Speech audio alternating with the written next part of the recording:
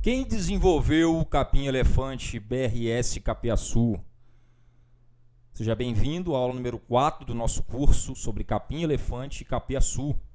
Eu sou o professor João Gonçalves Neto, zootecnista, e esse é o canal Portal da Pecuária, que tem como missão e objetivo promover o desenvolvimento da pecuária nacional através da informação.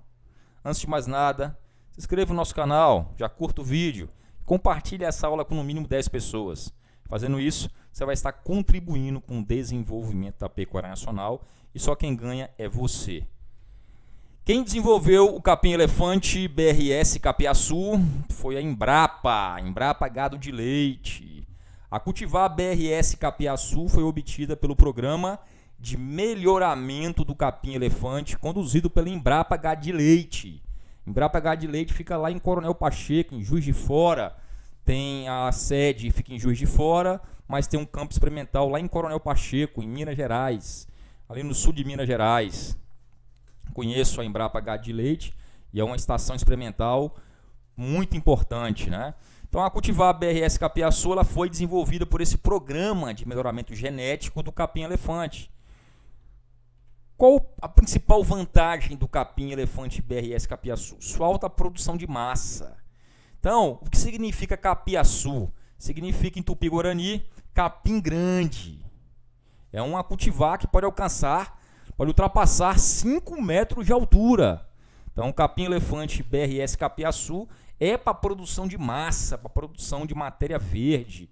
É uma cultivar que foi desenvolvida para formar capineira, não é para pastejo direto. É para formar capineira, para produzir 300 toneladas de matéria verde por hectare. Quais são as características dessa desse capim elefante BRS Capiaçu? Esse capim elefante vai apresentar uma alta resistência ao tombamento, ou seja, ela não vai tombar depois que ela estiver alta. Facilidade para a colheita mecânica, isso facilita muito a mecanização. É uma cultivar que facilita a colheita mecânica. Hoje, quando você trabalha no confinamento, ou você trabalha numa criação de gado de leite confinado, estabulado, você tem que usar máquinas, não tem como você cortar manual mais.